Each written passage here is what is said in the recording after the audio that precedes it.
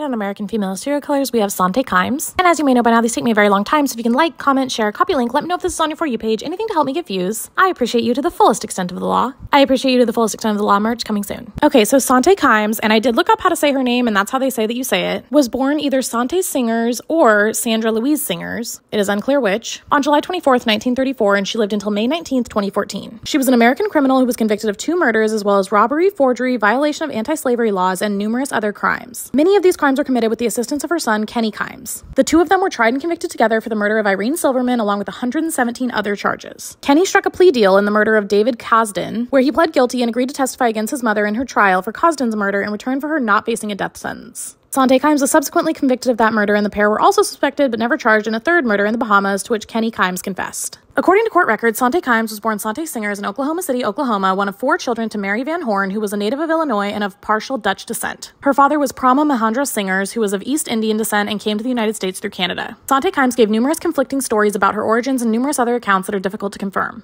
Her son Kent Walker has said that her birth certificate might be forged, and in his book, Son of a Grifter, he reported a claim by an old acquaintance of his mother that Kimes was the daughter of a respectable family who was unable to cope with her apparent wild antics. Kimes herself has claimed that her father was a laborer and that her mother was a prostitute who migrated to Los Angeles during the Dust Bowl, where the young Kimes ran wild in the streets. Kimes attended high school in Carson City, Nevada, and graduated in 1952, and soon after she married a high school boyfriend, but the marriage lasted only three months. In 1956, Kimes reunited with another sweetheart from high school, Edward Walker, and they married in 1957 and had the son, Kent. After a shoplifting conviction in 1961, Kimes separated and reconciled intermittently with Walker, but their divorce was not finalized until 1969. In 1971, she met motel tycoon Kenneth Kimes, and they married in Clark County, Nevada on April 5, 1981, and had one son, Kenneth Karam Kimes. She spent the better part of her life fleecing people of money, expensive merchandise, and real estate, either through elaborate con games, arson, forgery, or outright theft. After she and her son went on to commit the worst crimes of the three murders, she was sentenced to 125 years in prison, and that's where she died on May 19th of 2014.